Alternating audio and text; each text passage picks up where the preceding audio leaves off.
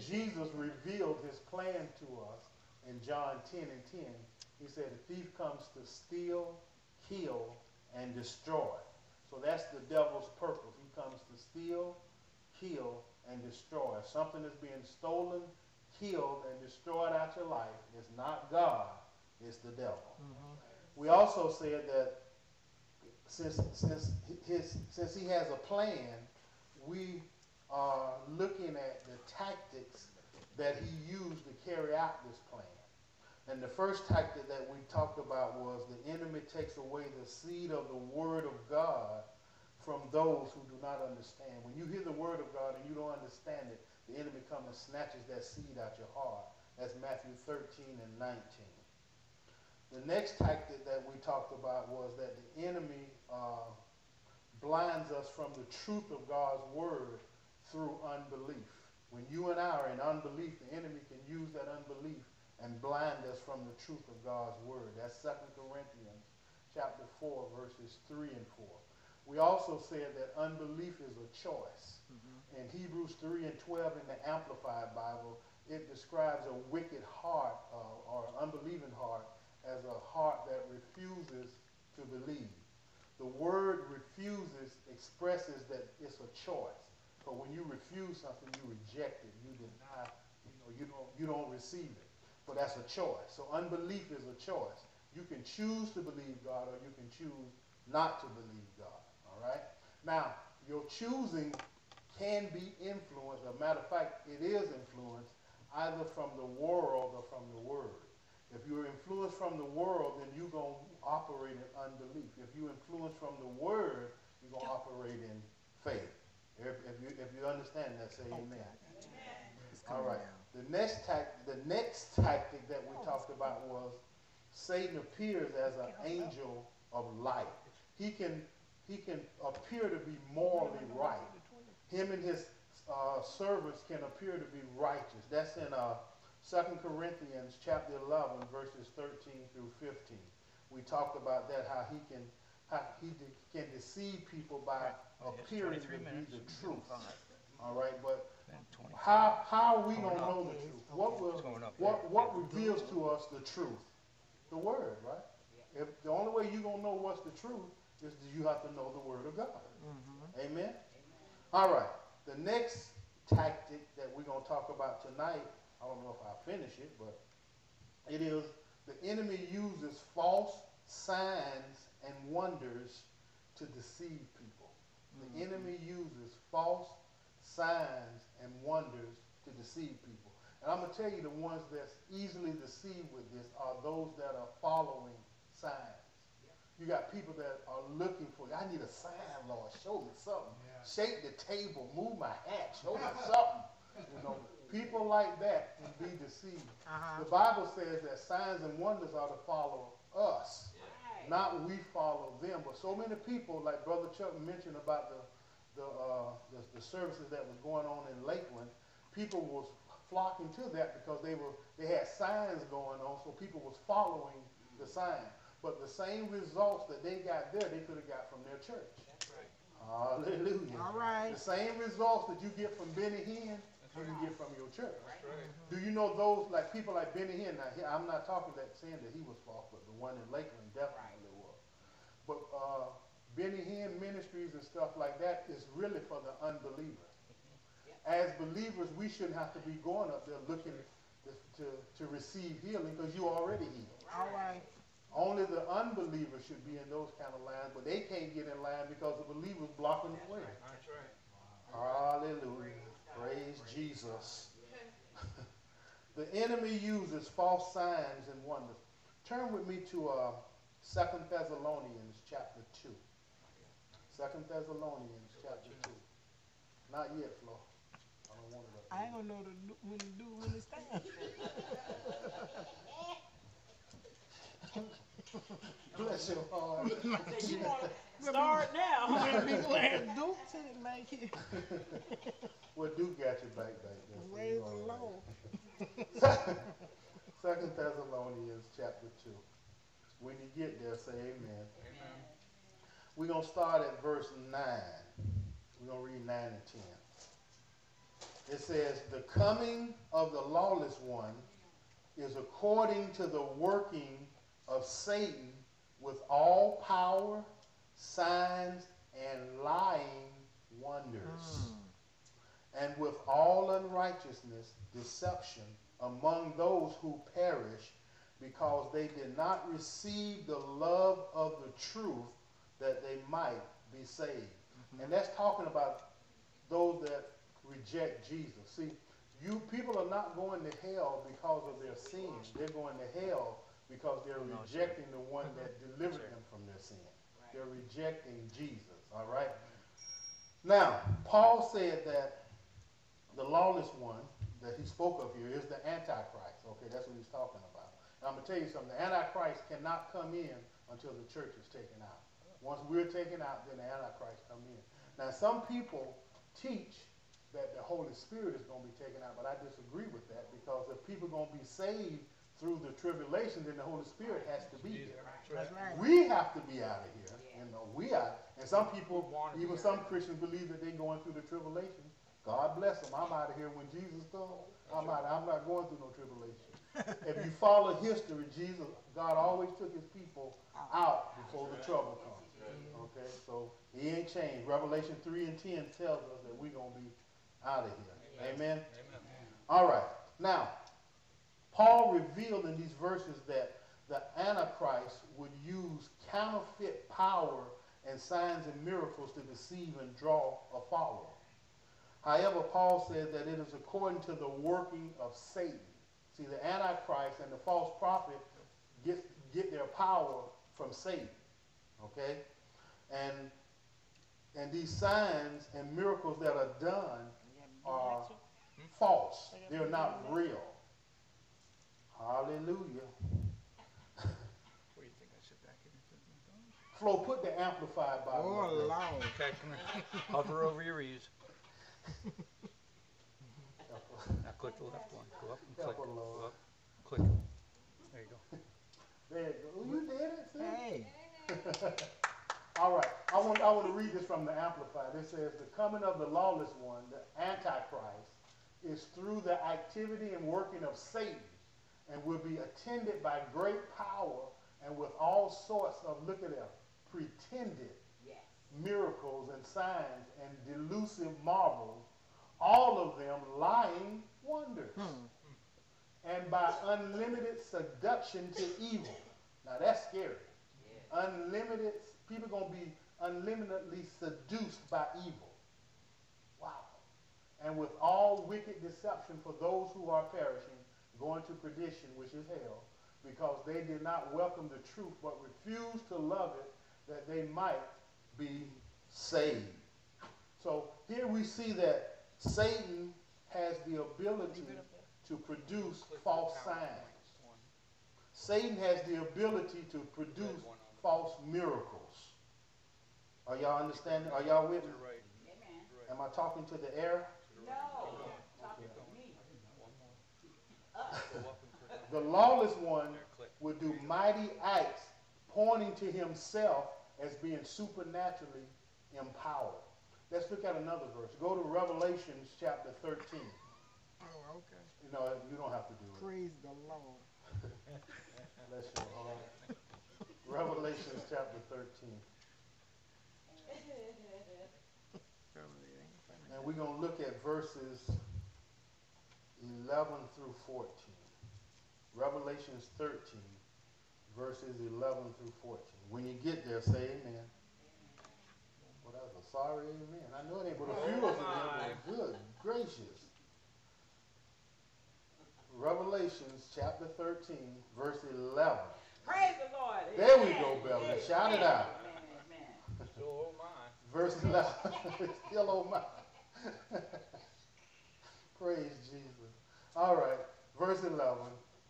If you ain't find it, you won't find it. now. That's right. Verse 11 says, Then I saw another beast coming up out of the earth, and he had two horns like a lamb and spoke like a dragon.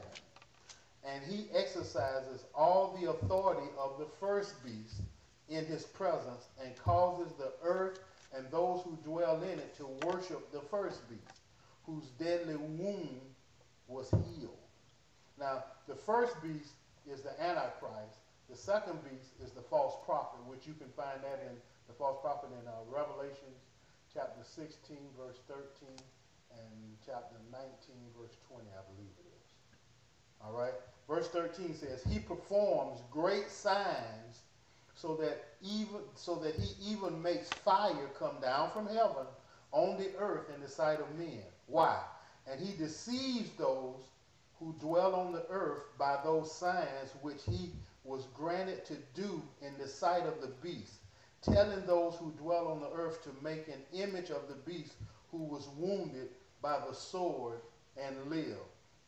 Here, John was telling us that in, when, the, when, the, when the Antichrist comes, he going to use signs and wonders to deceive people. And, and, and the only way that people will be deceived is because they're, they're, they're focused on seeing or experiencing some type of sign. People try to deal with God more in the natural than they do in the spiritual. And signs are in the natural. You know, people want to see natural signs. And, and, and, and, and to a degree, signs are okay as long as you are not running after signs. But you and I, as believers, we should be ministering to the point that signs are following us. Uh-huh. Healing, people should be getting healed and delivered from our ministry, and, signs should be following us. But the enemy, he's so good, he can deceive you with, with, with, with signs, wondering, I mean, uh, lying wonders, and even miracles. Now, I'm going to tell you something about miracles. Everybody know what a miracle A miracle is something that supernaturally happens, okay? The enemy, Thank you. his miracles will lead you away from God. He can do healing through his miracles, mm-hmm. but the credit is not going to go to God. Right. He's going to set it up to where the credit either goes to a man or, or some type of facility or something like that. Okay? But no healing takes place without God. That's right. But his his his way of pre- presenting it would be, you know, giving this man credit, and I see that a lot. I see that now where people get healed and they say, "Man, this doctor did this. This doctor." Thank God for doctors. I'm not coming against doctors, but the doctor didn't do it. Do you know medicine does not heal you? Do you know medicine sets your body up for your body to heal itself? Medicine doesn't heal you. It's, study has shown that medicine doesn't do it. You were created, you and I were created, our bodies were created to heal itself. That's why when you get a cut or something, it tries to heal itself. But we're in a sin-cursed earth, so, so it don't have the, the, the, the, the original power that it had when Adam was in the garden. It, it, it is losing that because our physical bodies are dying out. But your body was created to heal itself. However, now people are giving science the credit, they're giving doctors the credit, they're giving people the credit, and in a degree, we thank you for the, we thank, you know, we thank God for the doctors, we thank God for the science, but it's God that's doing the healing. The wisdom of science comes from God. The, but, but, but people take it away from God and give him the credit, and that's all because of the devil's influence. All right? Are y'all understanding what I'm saying? All right. Um, the enemy's false wonders is designed to destroy our faith in Christ and lead us toward himself and away from God. It is important that the enemy, in order to promote his lies and pass the Antichrist off as God, use signs and wonders to deceive people. Jesus himself warned about false Christs and prophets rising up and performing great signs and wonders. You don't have to turn there. Matthew 24 and 24, Jesus said, For false Christs and false prophets will rise and show great signs and wonders to deceive, if possible, even the elect. Well, how are we, the elect, that's talking about the Christian, how are we not going to be deceived? Because we don't know the word. You even have to, every sign, every miracle need to be judged from the word of God. Are you hearing what I'm saying? I'm telling you, we're living in these last times, and people are being fooled, and they're being pulled away from God through the enemy's deception. Jesus is warning here about the false Christ and the false prophets still hold true today. Upon close examination, it becomes clear that many nice sounding messages don't agree with God's message or with the Word of God. Therefore, we have to examine everything that we read or hear using the Word of God as our guide because it's through knowledge of the Word that we're not going to be deceived. Mm-hmm. Okay, you need to have that knowledge. Using the Word of God, we have to examine thoroughly every book we read, every sermon we hear. Because only God's Word can equip us to perceive errors and distortions mm. in false teaching. Mm. We talked about that earlier in this message that you got some well eloquent speakers out there. Eloquent speakers. They speak, they, they, they, can, they can make things, they can make the truth sound like a lie. They're good. But you and I shouldn't be deceived by that. Because we should have the truth, the real truth, which is the Word of God, in our hearts. So when they start speaking and twisting the, the, the lie and trying to make it look like a truth, we should be able to recognize it. All right? Amen. But it's uh-huh. sad that some of us don't. It's true. Amen. Supernatural power performed by someone does not mean that it's of God. I'm going to say that again now. Supernatural power performed by someone or an individual uh-huh. does not mean that it's of God. Absolutely. Simon, the sorcerer, Mm-hmm. mm-hmm. had people believing that his power was from God. Let's go to Acts chapter 8. Acts chapter 8. Look at that. He had people thinking that his power was from God until God showed up. I don't think so. When God showed up, he wanted that power. He tried to even buy it. amplified here in King James of 21. Acts chapter 8, and we're going to start at verse 9 through 13. What was that? When you get there, say amen. Eight. All right, now see, that's what I'm talking about, Denise. Shout it out. Yeah, So that first amen was really dragging, man. Make it bigger. Chapter 8, there. beginning at verse 9. It says, But there was a certain man called Simon, who previously practiced sorcery in the city and astonished the people of Samaria, claiming that he was someone great. All right?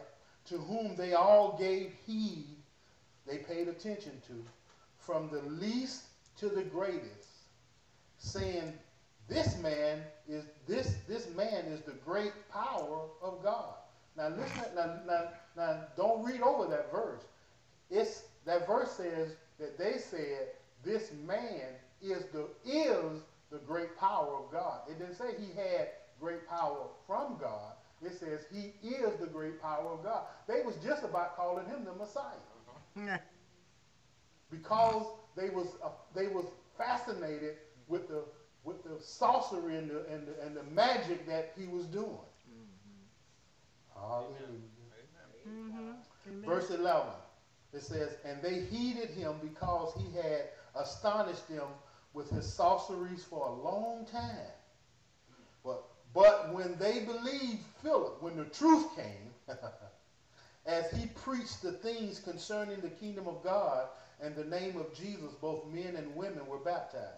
Then Simon himself also believed, and when he was baptized, he continued with Philip and was amazed seeing the miracles and signs which were done. See, when the truth comes on the scene, the lie has to leave. The, Uh-huh. the way you get rid of deception is through truth. See, his signs and wonders were false. Mm-hmm. The truth came and they got rid of the false signs and wonders. Philip and the apostles started doing real signs and wonders. And it was so awesome that it turned him around. Uh-huh. The one that was producing the fake signs and Mhm. wonders. That's right. Turn it around. That's right. In the days of early church, sorcerers and magicians were numerous and influential. The reason why they were influential because people always follow signs. Mm-hmm. We're always looking for a sign. God, if this is really Periodically, you, you go give me here. a sign. See What how does much his time's word? What does so his word Four and say? minutes. And see, I'm gonna tell you something Three and a too. We need to have a We- we gotta relationship with God so so developed that when we hear from God, we know it's Don't God. click the X. That'll close the window. People are asking for a sign because they don't have a relationship with God. They don't know when God is talking to them. They, they can't distinguish God's voice from the enemy or from their own voice. Mm-hmm. And we need to be so in re, so so much in a relationship with God that we can recognize His voice. That's what Pastor Flo and Pastor Chuck been teaching on. Knowing God. Mm-hmm. Knowing God is not having a head knowledge of God. Knowing God, the Greek word for that is, is intimacy. It, mm-hmm. it means to have an intimate relationship with God. That's right. Uh, let me let me let me school you about prayer here right quick. The word prayer is defined as communicating with God. Prayer is all day. You, you constantly communicate with God. But there should be a time of intimacy. Mm-hmm. There should be a see all through the day you may have people around you where you really can't talk to God like you want to. But there should be an intimate time with God. That like like Brother Chuck takes his intimate time early in the morning. We all should have an intimate time with God where we have shut everything out, everybody out, and we're tuned in to God. All That's how you develop your relationship with God. Amen. That's how you get to know God. Amen. You understand? That intimacy, that, that intimate time of spending with God. You need to spend time with God every day, alone with God. Mm-hmm. You need to, and, and, and when you're alone with God, you need to listen to Him. And that should be a time when you're not asking for nothing. That should be a time when you just want to hear God. I'm getting to where I go into prayer now. I'm asking God, what can I do for Him? Who can I go out and minister to for Him? Because we've been in a habit of saying, God, give me, give me, give me. My name is Jimmy, and I want you to give me. Okay? But we need to get to a place where God can use us to spend that intimate time with. And what I'm finding out, when you do it like that, God provides for that need that you have. Because you are willing now to go out and meet somebody else's need. Amen. Hallelujah. Hallelujah. How you doing, John? We're talking too much in prayer. We need to be listening more. Mm-hmm. You need to distinguish his voice. Amen. All right? And uh, the, uh, the magicians and the sorcerers work wonders. They perform healings and exorcisms. And they practice astrology. That's with the stars and all that stuff. Okay? And that is definitely devil.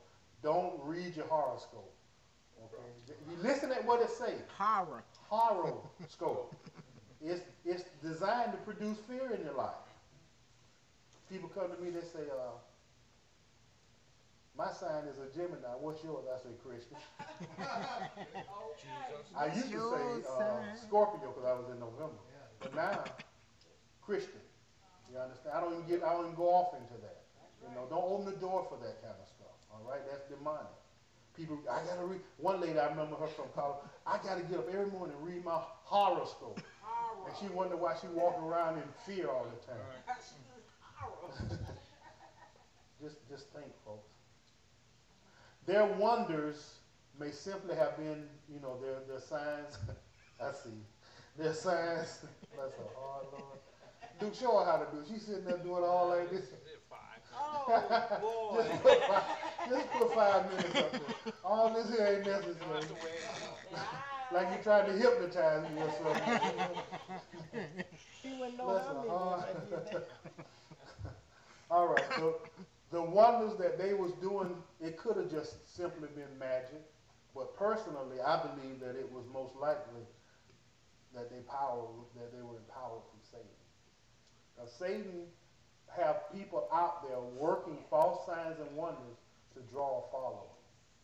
You got people that actually uh, worship Satan.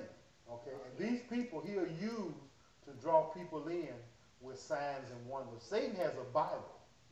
He has a Bible out there. I've never read it. I don't even think I want to read it. I You know what I mean? know. But those people that are that are worshipers of Satan, he he empowers them to do false wonders. He may uh, present you with a healing, but I'm gonna tell you something about the healing. It won't last Right. because it's not real. It's a deception. He can't heal. God is already healed. You understand what I'm saying? But but he can deceive you. He can get you, and then and then you find yourself following him because you after signs and wonders. Stop following signs. Let signs follow you. Okay? That's what happened. Can I call his name? Will I be out of the line? I want to call his name so bad. That's what happened with the guy in Lakeland. They was following the sign. And it was some good things happening there, not because of him, but because of the people that was there believing. They believed. Because he was way off base. Like Brother Chuck said, his, his, his spiritual high came from a natural high. He was drinking. And he was cheating on his wife. And he left his wife. Now, while he ministering, he left his wife for the, I see, he left his wife. You can put it down. I see. Bless your heart.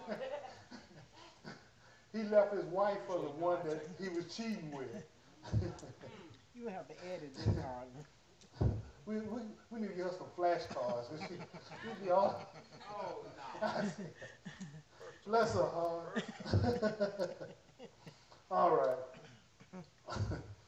Simon had done so many wonders, uh, so many miracles, that some even thought that he was the Messiah. Because I'm looking at this verse here, and verse 10 again says, To whom? Talking about Simon. They all gave heed from the least to the greatest, saying, This man is the great power of God. So they was they was naming him almost like he was the Messiah. They, they didn't say he had great power from God. They said he was the great power. And, and, that's, and people are deceived today like that. Amen. Amen. All signs and wonders should be examined using the Word of God as the standard to determine whether or not they are of God. Mm-hmm. Simon's power was not from God. If you read the verse out, if you read it on out to about the 21st verse, 24th verse, you, it'll reveal to you that his power wasn't from God. Okay? If anyone draws attention to themselves and not to Christ, their work is not from God. That's why I listen to people that, that are doing great work. A lot of times they can get caught up into themselves. And when, when a person come up and start bragging on them and not bragging on God, you have to watch that person. Okay? See, a cult, more people don't know, a cult is man-ran. Anytime a cult is about, is, is, is focused on a man. See, Christianity is focused on Jesus. It's about God. It's not about man. And when man starts pointing to himself, the antennas go up. Okay? Hallelujah. Now, contrary to what the enemy's plan is, Jesus' plan is to give life. Let's go back to John 10 and 10, and we'll close with this verse. John 10 and 10. We're going to close with this.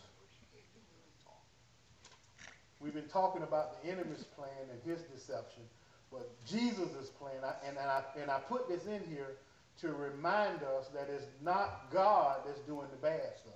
Right. It's the devil. That's right. And and it's sad that we'll get people in church and they say, "Oh, I agree with you, Pastor. You're right. It's it's it's the devil." Excuse me. But soon as something happened, well, you know, God God God did it. He did it to get my attention. You know, and when somebody died, well, God must have wanted that flower in heaven. No. He got plenty of flowers up there. He don't have to pick one here.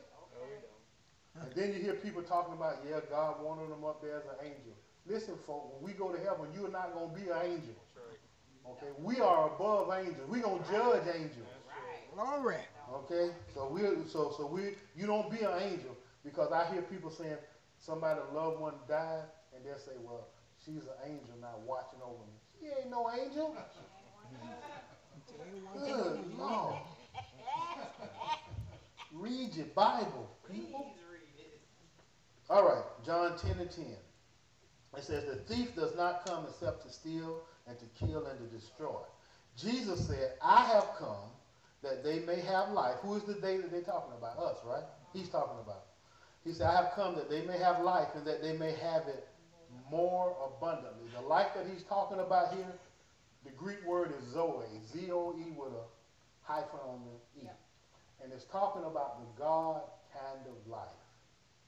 Now, the God kind of life that he's talking about is the life that goes on in heaven. Yes. The life that goes on in heaven, there's no sickness, there's no disease, there's no death, there's no killing.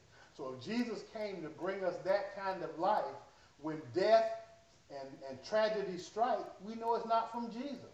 Because he said, I come to give you the God kind of life, not take your life That's from you. right, right. But we, but we, but we don't, you know, we get into these cliches and, and we get into the tradition of hearing certain things and, and we find ourselves blaming God. But Jesus said, I came that you may have life and have it more abundantly. Uh, the Amplified Bible says that you may have it to the overflow. I like that, to the overflow. So he came to give us life. The enemy came to take life. Now, next week, we're going to start talking about principles or requirements on how to resist the enemy. I'm going to show you from the Word of God how to resist the enemy. And when we talk about resisting the enemy, we're talking about standing against him. Like Beverly got that song, Stand. That's what you have to do. You have to stand. Stand and when, when, when she sang that song about stand, it's talking about trusting God. Uh-huh. Standing in faith, not being moved by your circumstances, not being moved by the devil whispering in your ear, just standing in faith, believing that God has already provided. Amen. Father, we give you praise and honor. We thank you, Lord. Thank you for revealing to us the strategies of the enemy. We thank you that none of his plans will ever prevail against us. But we understand and recognize all of his plans. And we thank you that you've given us authority over him and power over all his power.